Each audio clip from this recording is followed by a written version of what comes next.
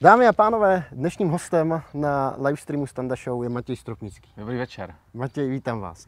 A kde se nacházíme teďka? Jsme tady u nás u takového provizorního bočního vchodu eh, do toho areálu, toho zámku, kterýho, který jsme si vlastně tady loni s mým partnerem Danem Krejčíkem, hercem, eh, pořídili na splátky a eh, tady tudy Na se- hypotéku. Eh, Ne, je to rodinná půjčka nakonec. Žádná banka nám nechtěla půjčit, takže eh, jsme nakonec eh, ukecali rodinu a splácím to mámě.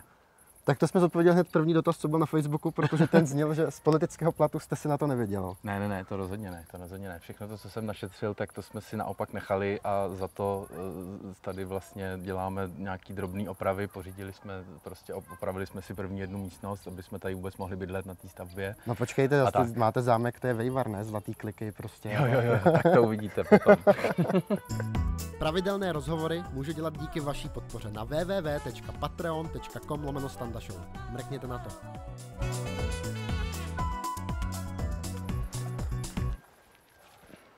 Navštivte zámek Osečany. Jo, to jsme Prohlídky tady- každou neděli od března do října.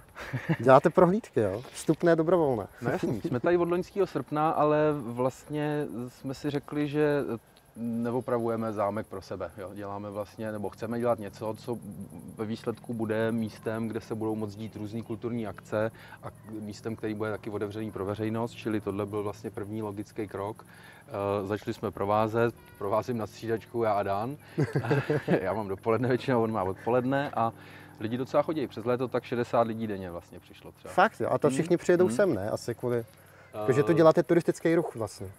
No, Trošku. Se to tak říct, ale jako opravdu takovej ten hodně uh, nízkouhlíkový, jo, protože ve jsou to lidi z okolí, tady, co jsou třeba na rekreaci, na slapech, nebo první návštěvníci byli ve lidi z vesnice, kteří říkali, že v tom zámku nikdy nebyli, anebo že tam byli jako pětiletí třeba, tak ty se přišli podívat Jasně. vlastně, jak to tam vypadá. Mhm. Vlastně. A tohle to je taky to jako vaše, jo? Tady ty pozemky. Jo, tadyhle to končí tímhletím plotem, tohle je ještě jako k nám sípka, která patří a všechno to, co je směrem tady dolů do toho temného, tak to je bývalý a možná budoucí park. Tady všechno buď bylo, nebo bude. Málo co je teď zrovna. Mhm. Proto se taky naše stránky třeba jmenují zámekbude.cz, protože jako je to spíš starobylej barák se, s- jako, se zarostlým parkem, než že by to byl zámek s parkem. Mhm. No, tak teď už jako vstupujeme vlastně do takového uzavřenějšího prostoru trošku, řekněme, je to takový jako první nádvoří, by se dalo říct, trochu s nadsázkou. Um, to je jako druhý záda té sípky vlastně, tohle to bývala zámecká konírna, za komunistů teda nicméně prasečák a dneska to patří k tomu statku, čili tahle budova nám ani nepatří, stejně tak jako ty domečky, které jsou tady takhle podél té vlastně oficiální hlavní přístupové cesty, to byly asi kdysi dávno domečky pro zaměstnance zámku. Všechny vypadaly, myslím, tadyhle jako ten první. A tyhle ty další, prostě jak šel čas, tak lidská kreativita je veliká, takže se to různě vyvinulo. No, postupně třeba, což je tady vtipný, postupně se snažíme ten prostor, protože ty zahrádky patří taky nám. Tak se snažíme, jo, jo, Aha. tak se snažíme vlastně přesvědčit ty místní, aby odstraňovali ty ploty. Tak vidíte, že u dvou se nám to už povedlo a další dva zatím ještě eh, jsou v jednání, že se to snažíme jako zase scelit, protože eh, ten prostor prostě musí být vnímaný zase pokud možno v celku. Stejně tak jako tady za komunistů byl vlastně pletivový plot, který ohraničoval ten zámek, ve kterém bylo, byl sklad zdravotnických vlastně věcí. Jo, takový ty Takže ten postele. zámek za komunistů sloužil jako sklad. Jo, jako sklad. Což Mhm. ale nutno říct, bylo pro něj docela dobrý. Jo. Nebylo tady ani EZD, ani Jasně, prostě jo. uh, nějaký jako eh, prasárny, který by to vlastně ničili.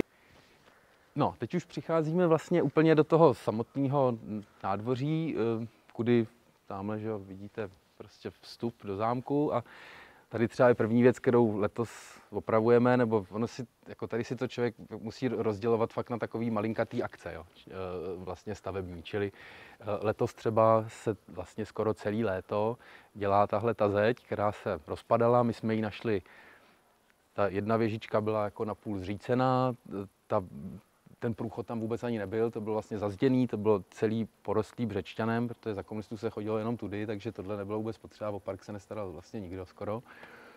No a tak se to celý vlastně obnovuje, tak už jsme tak týden no tady člověk řekne týden a vždycky je to pak ještě tři týdny, jo. ale doufám, že to prostě za týden bude už tohle hotový. Tak to je třeba s podporou středočeského kraje vlastně. Uh-huh. Uh, vy jste mi odpověděl, jak jste k tomu zámečku přišli. Jo, to jsem, pardon, to jsem, to jsem neřekl. No, my jsme uh, po těch volbách, ve kterých jsem dostal pěkně do kožichu v roce 2017, tak jsme s Danem, se kterým jsme spolu byli vlastně docela čerstvě, tak uh, jsme začali přemýšlet o tom, jestli to není vlastně impuls pro to se přestěhovat jako mimo Prahu. Začalo to tím, že jsme si vymysleli, že by bylo fajn vysadit nějakou álej k výročí Československa čili jakoby rok dopředu, ale ukázalo se, že na těch pozemcích, kde jsme si to představovali u nás na chatě, takže to je nevykoupitelný za tak krátkou hmm. dobu. Tak to byla první idea, ale úplně jsme se jako nevzdávali, Dan pak našel nějaký mlejn, pak tam ještě chvilku hrála roli nějaká horská chata, furt se nám to zdálo všechno drahý. Jo. A pak jsme se zbláznili úplně, našli jsme a asi kolik jste měli omylem tenhle ten, no neměli jsme rozpočet žádný, jo. představa byla, že třeba do dvou milionů jsme schopní e, jako to nějak poskládat a dost rychle splatit případně ten zbytek a pak třeba i něco opravovat, ale pak najednou jsme začali koukat i na inzeráty, na které já jsem předtím nikdy nekoukal. To znamená na inzeráty na kulturní památky, takový servery, jaký jsou. A tam pak najednou jeden den padlo do voka tohle Bývali bychom se možná ani nejeli, ale měl nějakou premiéru eh, a když žijete s hercem, tak od rána ten den té premiéry je dost nesnesitelný. Takže nápad byl, že ho trošku rozptýlím tím, že ho vezmu na vejlet. A přijeli jsme do Neveklova, což je odsud, já nevím, 15 třeba eh, pěšky. Našli jste si to teda přes inzerát na internetu? Na inzerát, přes, ano, přesně tak. A z toho Neveklova jsme sem přišli poprvé vlastně pěšky, někdy v březnu 2018, asi rok a půl na zpátek. Takže tady ještě byl ten pletivový plot, tady tudy, ty vrata nutno říct byly ještě otevřený tehdy toho statku, takže jsme se dostali vlastně až sem, tyhle dvířka jsme nějak nevím, přelezli nebo otevřeli nebo něco. Zkrátka jsme se dostali až na to nádvoří. Pak jsme to chtěli obejít, ale tehdy ten zámek vůbec nešel obejít. Si za chvilku, můžeme si to klidně projít okolo, abyste to mm-hmm. vlastně pak viděli, ten rozdíl. Uh, no a pak najednou jsme, tak to bylo jako, jako pak jsme ho neměli, on měl tu premiéru, No a řekli jsme vlastně, a za dva dny najednou to na nás jako přišlo, že se musíme jet. Zbláznili jsme se, jeli jsme sem v noci se podívat, protože jsme to chtěli jako znova vidět, jestli ten dojem je ten týž. Jo. No. Vlastně to bylo furt ono. Tak jsme asi po týdnu kontaktovali nějakou tu realitku, která to tehdy nabízela a pak velmi rychle jsme to už navštívili i s majitelema. Mm-hmm. Kdo to vlastnilo? Nějaký 17 lidí, eh, Aha. což byli vlastně potomci eh, družstva lékařů, který to koupili na konci 30. let, před, před druhou světovou válkou. Jasně. To koupila skupina lékařů, chtěli tady udělat sanatorium. Potom, co se vlastně ten statek oddělil od zámku, jak to přešlo na, na Sedlčanský okres. Ten a v privatizaci jim to vrátili a pak jim to teda vlastně v restituci, restituci. Uh, to vrátili. Aha. Jenomže těch lékařů už nebylo 8 jako za první republiky, ale bylo jich tehdy asi 13 a když jsme to kupovali my, tak už 17. Čili pro ně bylo nepochybně těžké se prostě dohodnout, co se mhm. tady bude dít. Takže se dělo jenom velmi málo, myslím. A pak se dohodli na tom, že to musí prodat. Uh-huh. Uh, nebojíte se tady večer? Ježiš, teď už vůbec. Ale ty první, když jsme sem začali jezdit, no. tak netekla voda a nešel prout. Takže jsme jako svítili svíčkama a teď, když jste v budově, kterou nemáte zažitou, neznáte ji, tak jsme tadyhle v těle těch oknech nahoře, tady jsme spali, to je místnost, tady to je kaple zámecká. Nad tou kaplí eh, vlastně je taková místnost zakázaná, protože nad kaplema se nesmělo stavět. To měla být vlastně nebeská, to už jsem se dozvěděl mnohem později, takový jako, to měla být nebeská klenba a nad tou už vlastně jenom teda nebe samotný. A tady je tak, ale tady nicméně je takováhle místnost a tak tam jsme spali, to byla jediná, která se dala zamknout. Takže z jsme v noci, protože když se někdo zbudil, tak jsme se tak jako koukali dolů na to nádvoří plný hrůzy, jestli sem nikdo nepřijde, ale on sem opravdu jako nikdo nechodí. No to z toho bych neměl strach, ale ten zámek musí mít eh, spoustu jako historie, že jo, tady se muselo stát spousta věcí. Jo, tak takhle jestli... jo, ale ježíš, na tohle to já nedám. Ne, jako, ne, ne. Jako strašidel se já nebojím. Taky ne, Stra, stra... ne, strašidel se nebojím. Z některých lidí obavu občas mám, ale strašidla ne. Takže, Aha. takže to bylo tenkrát, no. Ale čím víc toho v tom zámku jako prožijete a každý, v každé té místnosti už jsme teď strávili vlastně docela dost času. Buď jsme tam něco mili, nebo tím, jak tady provázíme. A tím si to tak jako osvojujete, že pak už... A jsou tu velký sklepy? Jsou tu i sklepy, docela velký, no. A už je máte prochozený všechny?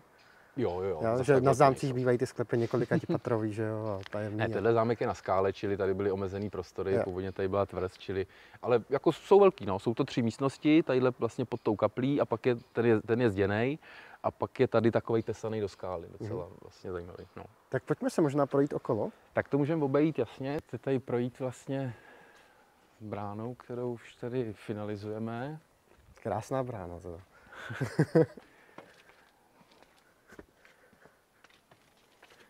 tomuhle tomu prej za té poslední paní baronky se říkalo onen svět, tady byla taková teráska, tady byl samozřejmě potřeba si představit průhled že jo, tím parkem, protože tohle to všechno dole je vlastně park, který k tomu je. Je to 7 hektarů, ale vidíte, v jakém je to stavu.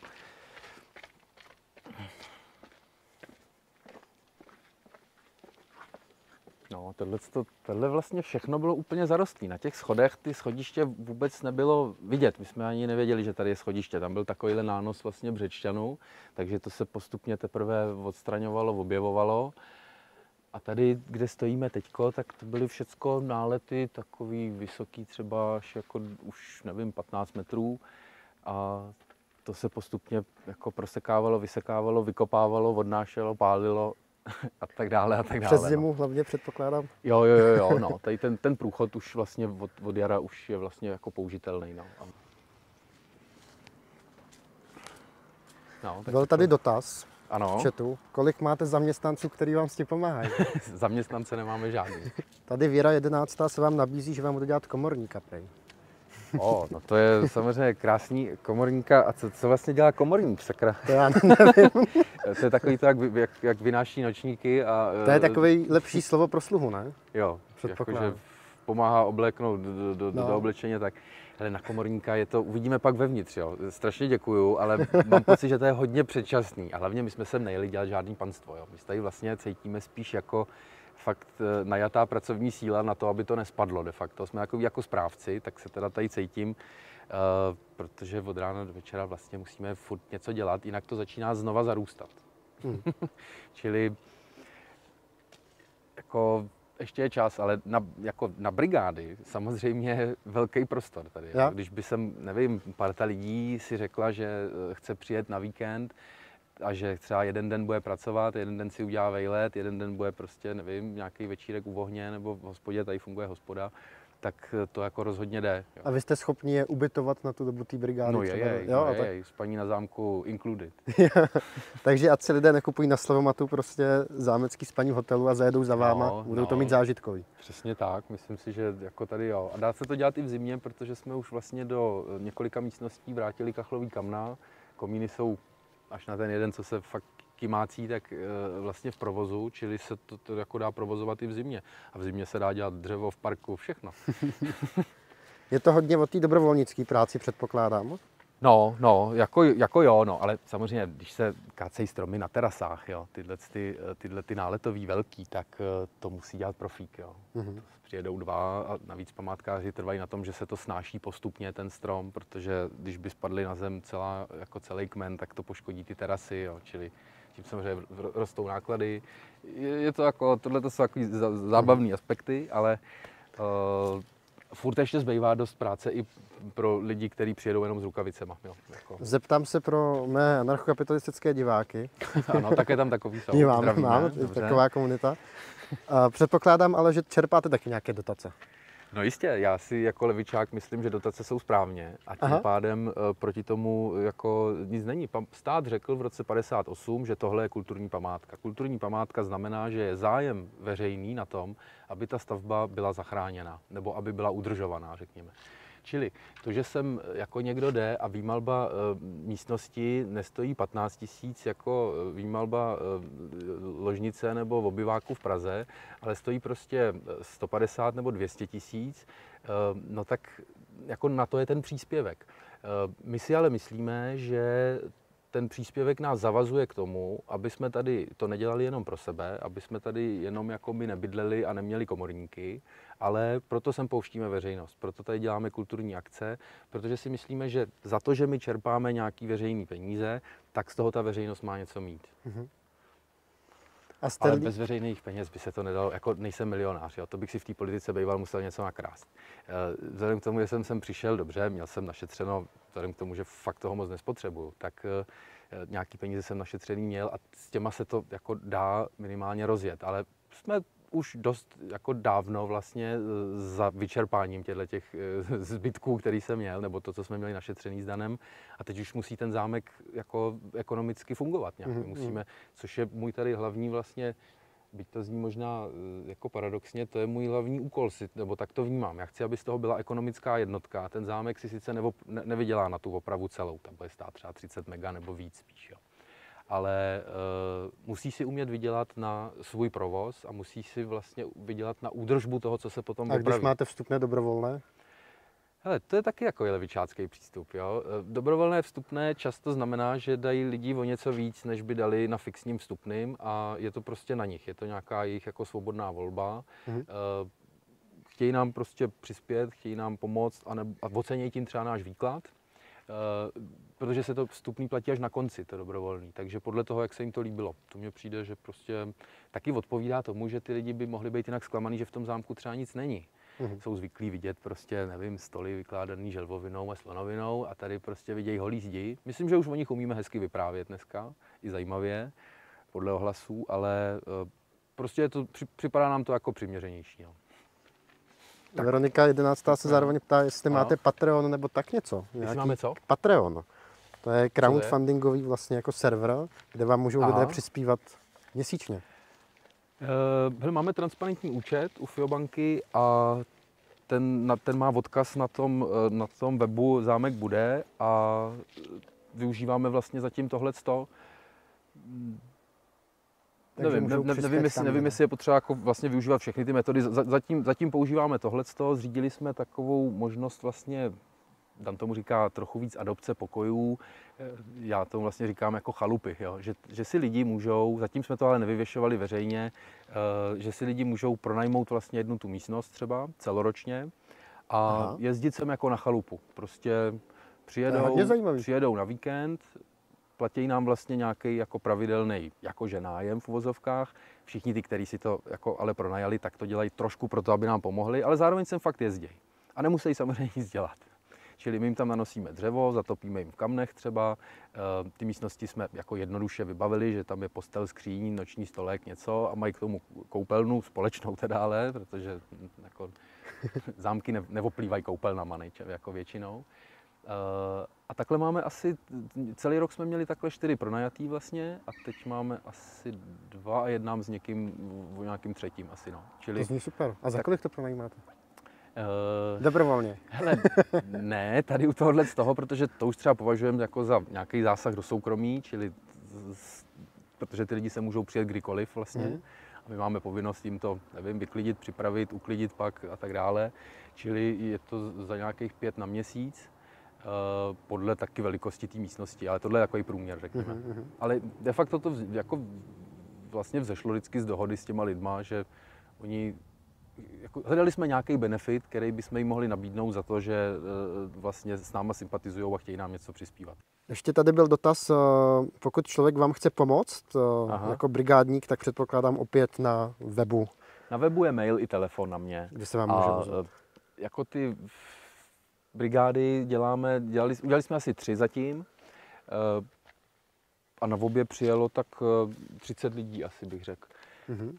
Převažují teda v tomhle případě lidi, na rozdíl třeba od těch prohlídek, víc vlastně z města, což jsme nejdřív si brali trochu osobně a pak jsme pochopili, že ty lidi na té vesnici, který stávají prostě v 6 nebo v 7 a pracují až do hlubokého odpoledne a to tak, že často i o některých víkendech, tak eh, mají pak ještě doma, jako se dělat dřevo, třeba mají zvířata, třeba mají kus lesa, eh, mají vlastně docela jako dost práce na svým byť malým hospodářství, který je neživý, ale pomáhá jim jako vlastně eh, ekonomicky být o něco soběstačnější takže málo kdo z nich má pak jako energii na to jít ještě dělat něco Jasně. na zámeckém. Taky pár lidí přišlo, přišlo jako klobouk dolů, ale vlastně lidi z města sem spíš jedou relaxovat, tak bych to jako vzal na tu brigádu, což neznamená, že se tady nepracuje, to teda jo, ale vlastně ta skladba je takováhle víc. No.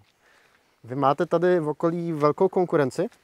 Proč je kousek odsad jsou Obramovice, kde je Čapí hnízdo, že jo? E, no, ale Čapí hnízdo má jinou klientelu, jako jo. E, ale lidí tam jezdí dost teda.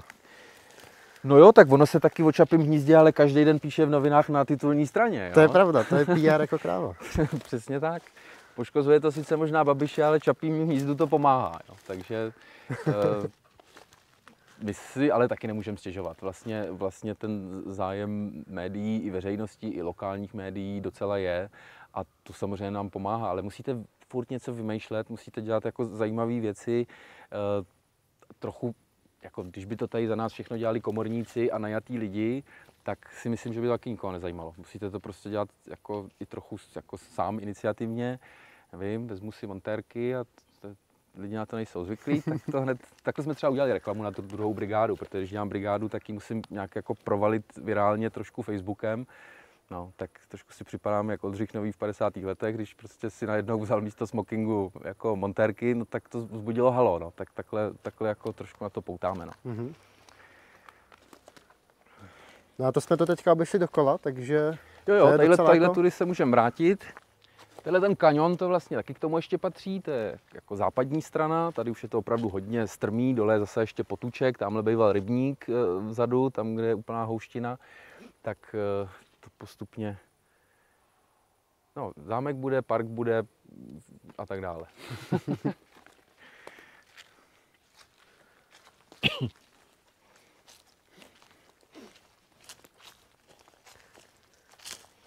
Vy tady bydlíte celoročně, že jo? No jasný, my nemáme jinou možnost. Já splácím tu, eh, tu půjčku mimo jiné z pronájmu pražského bytu, takže se nemáme kam vrátit ani. Aha. Jo, jo, téma eh, zima se znova blíží a eh, tady je hodně intenzivní, jako musím říct. Takže takový to úsloví zima ti připomene, co si dělal v létě, nebo jak se to přesně dal tak eh, to tady si člověk promítne hlavou hodněkrát. No.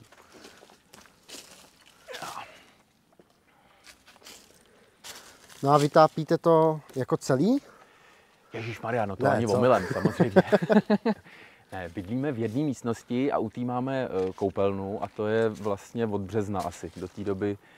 Uh, Zůstaňte tý... mi stát, já si vás jako jo. udělám si pěkný záběr. Jo, jo, jo, do té doby nebylo ani to. A takže vytápíme tu jednu místnost. No. A v koupelně máme vlastně boiler na dřevo, na, na, na ohřev vody, respektive je takový přepínací, jsme našli, že v zimě, když si zároveň chcete ohřát i tu místnost, tak se tam topí na dřevo a na léto, když chcete se rychle osprchovat, tak se to jako dá dát do elektriky. Moment, takže tady není teplá voda? Nebo už je? No, jako z tohohle toho boileru, jak... Máte elektrický jsou, boiler? No, jsou to lázeňský kamna, popravdě řečeno. Jo. Jsou to lázeňský kamna, čili normálně v nich topíte na dřevo. Takže vy musíte furt topit?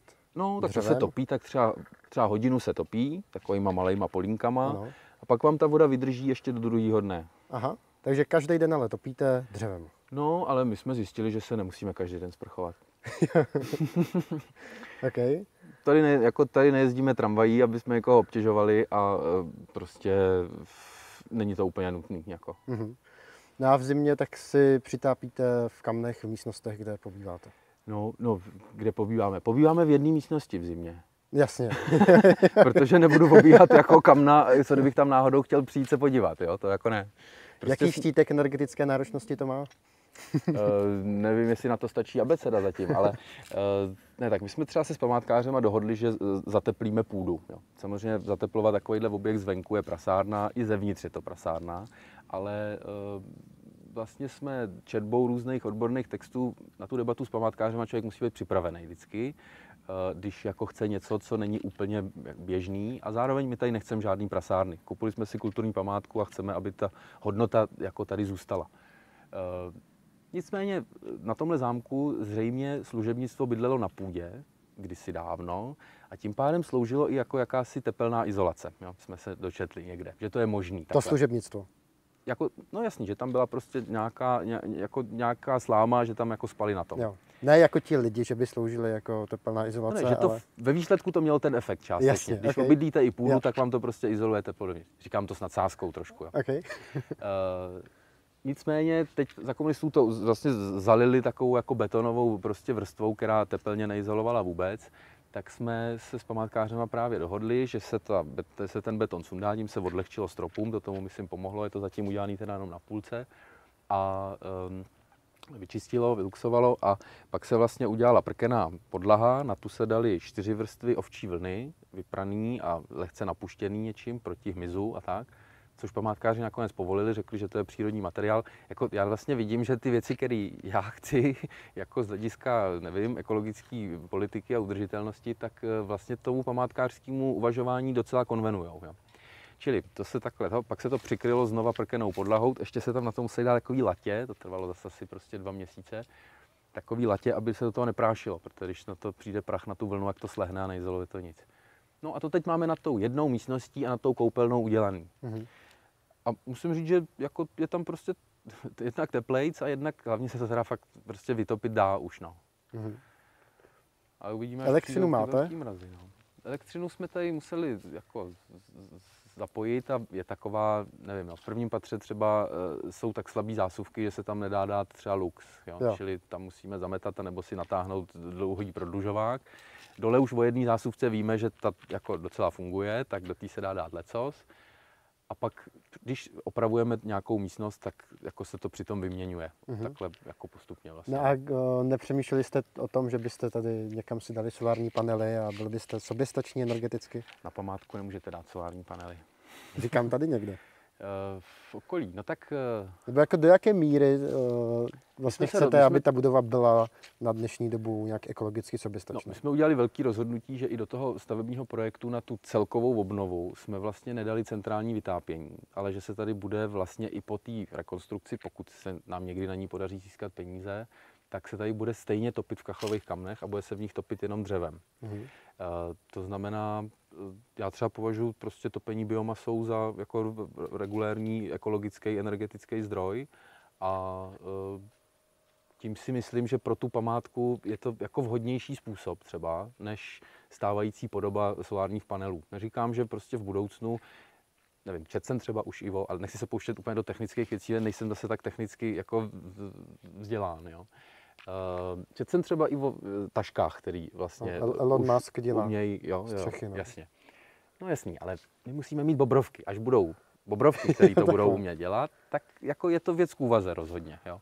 Ale uh, myslím, že pro nás je hodně důležitý, aby jsme to vlastně dělali, uh, aby jsme ten zámek vraceli do pokud možno autentické podoby. A když by tady nebyla elektřina, tak jsem, jako já budu prosazovat, aby se sem nezavedla. Vzhledem k tomu, že tady byla zavedena, nevím jestli za války nebo v 60. letech, tak ji jako obnovujeme, ale vlastně neděláme ani třeba celý obvody okolo místností. Je to ten nějaký půl obvod, co tam je a nějak to jako nedramatizujeme. No. Uh-huh. Ale topení dřevem a to považuji za ekologický dost. Uh-huh. Je to asi dlouhodobý plán nebo dlouhodobý projekt pro vás, že jo? uh, jo, spousta lidí říká, že na to potřeba více životů. Já si trochu myslím, že se No ale jsme tady krátce. že se to třeba bude dát zvládnout jako dřív, ale hejte, je to věc, u který není dobrý, myslím, moc pospíchat, protože zábavný je, eh, nebo to, co nám přináší radost, je to, že se to mění postupně, že každý kousek vlastně je ehm, v tu chvíli novej a to, to, vás, to vám jako dělá radost. No. Mm-hmm. No a ta, mám dvě otázky. Hmm. A ta první je, jestli, jak to tady má vypadat jako za 30-40 let. A ta druhá s tím související je, jestli si představujete, že tady jako zůstanete na důchod, nebo že tady jako zestárnete. Jestli tohle je ten plán, anebo... Uh, jo, no, jak to bude vypadat za 30 let? No, chcem vlastně, aby já ten úplně přesný záměr, který vlastně eh, máme, tak eh, říkat jako nechci, dokud se ho nepodaří vlastně eh, mít pokrytej financema nějak. Ano. Protože prostě si myslím, že je, je lepší to jako netroubit předem úplně do detailu, ale víme, že z toho nechceme dělat jako ani hotel, ani měnit funkci toho objektu mm-hmm. nějak zásadně. Chceme, aby, a tomu podřizujeme jako ty všechny záměry. Chceme, aby se to vrátilo pokud Nechcete možno. hotel? Nechceme Nechcete hotel. A nechceme z toho samozřejmě mít jako něco, co podstatným způsobem zasáhne do eh, jako i vnitřní stavby těch, kde chceme, aby ty zdi, které, kde jsou, tak tam, aby zůstaly, okna taky. Nechceme budovat prostě po celém baráku koupelny, stoupačky budou velmi pravděpodobně jenom ty jedny, co tady jsou. Um, a tomu musíme přizpůsobit to využití. Čili jako kultura se v tomhle ohledu dost nabízí, prostě lidi, kteří přijdou sem, strávějí tu nějaký čas, uh, tak nevyžadují tak velký komfort jako někdo, kdo by tu měl být prostě mm-hmm. podstatně déle nebo za velké peníze. Jo. Chceme tím zprostředkovat trochu i jako větší míru autenticity toho uh, bydlení tehdejšího, včetně toho nepohodlí, který to z dnešního pohledu má. Takže ne hotel, ale ubytovávat lidi ano. Hmm. Rozhodně nemůžeme využít uh, sami uh, nějakých 8, 28 jako prostor, který tady jsou. Ne všechno jsou jako místnosti regulérní, ale hmm. zhruba tolik je tady jakože um, místností, řekněme, když takhle 25. řeknu, 28, 28, ale jsou v tom zahrnutý i velmi malé místnosti. A kdyby se to počítalo na takový ty klasický jako ložnicový počítání, kolik ložnic? Ježíš, plus to, jedna? To, nevím kolik, tak, ale jedna je pak ta kuchyň, jo. kuchyň tady totiž není. Uh, takže... takže plus nula. uh, plus kaple. Jo, jo, plus kaple, tak můžeme tu jedničku dát na tu kapli. Uh, nevím, taky bude třeba 20, jo, zhruba tak. Tak jdeme dovnitř, dámy a pánové, podívat se. A že bychom ji třeba pohřbili tady v té dámecké kapli. Čili pak by sem teoreticky vlastně ostatky jedné někdejší mrtvoly teda převezeny byly. Tak tahle, tuhle místnost jsem vás dal vlastně záměrně, protože tady třeba není strop, jo. Ale pak každý zvuk, který neznáte ještě, tak a když jsem tady třeba sám večer, tak eh, to je najednou jako takový napováženou. No. A tady je váš jako obývák, mám tomu tak rozumět. A tak na tenhle ten váš plán? na zdraví. Teď v tom lese u toho táboráku, on si najednou začal hrát tu videohru na tom plátně. jsem říkal, Maria, jděte do hajzlu, já tady vůbec nechci takovýhle věci. Jako.